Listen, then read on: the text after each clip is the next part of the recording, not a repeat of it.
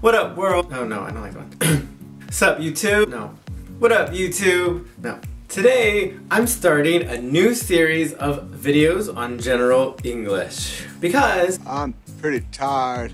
So, today's video is focusing on phrasal verbs. We'll have a little quiz at the end for all of you trying to learn American English.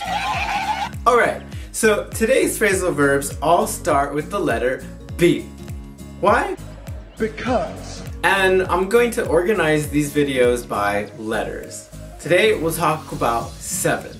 So let's get to it and do it! Alright, so number one, back off. Now this one means to leave somebody alone or to stop bothering them. For example, if you have one person who is bothering another person, this person could say, yo, back off before I hit you in the face, fool. So that was an angry start, but let's do number two. Back up. Now this one has different meanings, and the easier one is physical, it's reverse. Beep, beep, beep.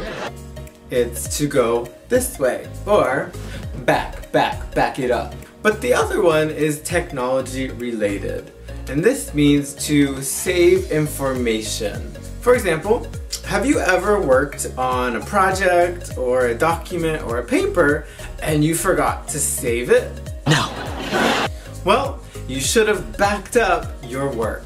You should have saved your work. Number three, bang on. And this one is very physical. This means to hit something with a lot of force. And an example is, has that ever happened? Probably. Number four is bank on. And this one has a similar, but still different pronunciation from bang on. You have bank with a K and bang with a G.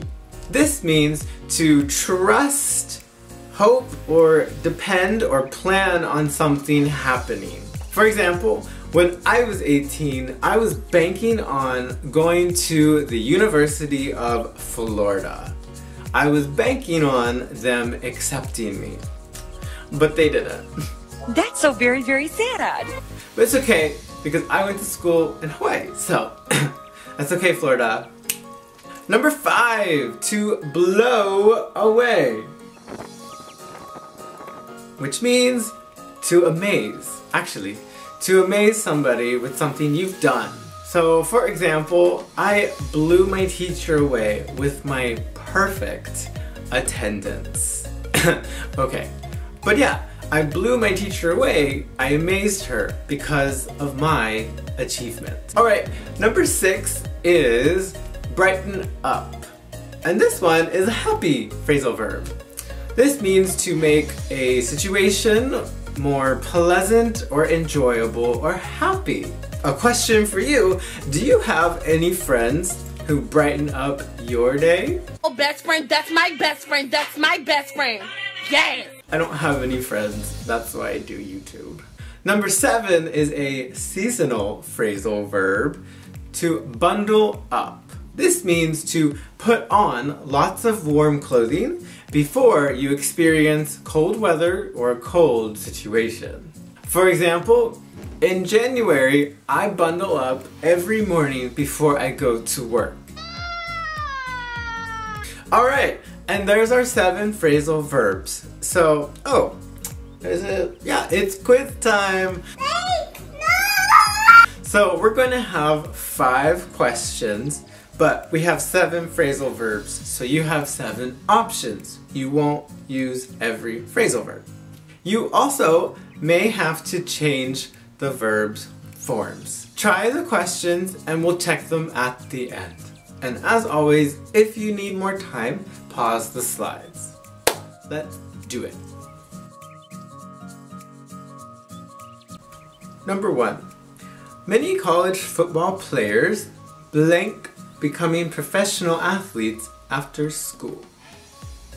Number two, before we left the hotel to go skiing, my father said, hey, you better blank because it's snowing. Number three, my girlfriend's bird died last night. Hmm.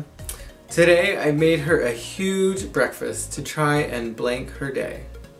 Number four, in the movie Home Alone on a Dark Night, the main character is terrified because he finds a murderer blank his front door.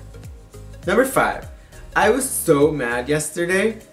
I was working on my history paper, but I forgot to blank the file before my computer died.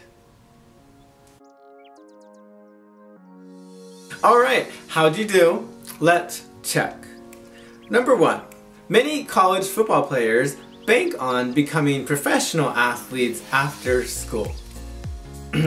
Number two, before we left the hotel to go skiing, my father said, hey, you better bundle up because it's snowing. Or you could just go to the beach, but whatever. Number three, my girlfriend's bird died last night.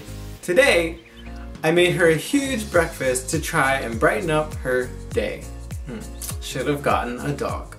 Number four, in the movie Home Alone on a Dark Night, good movie title, I know.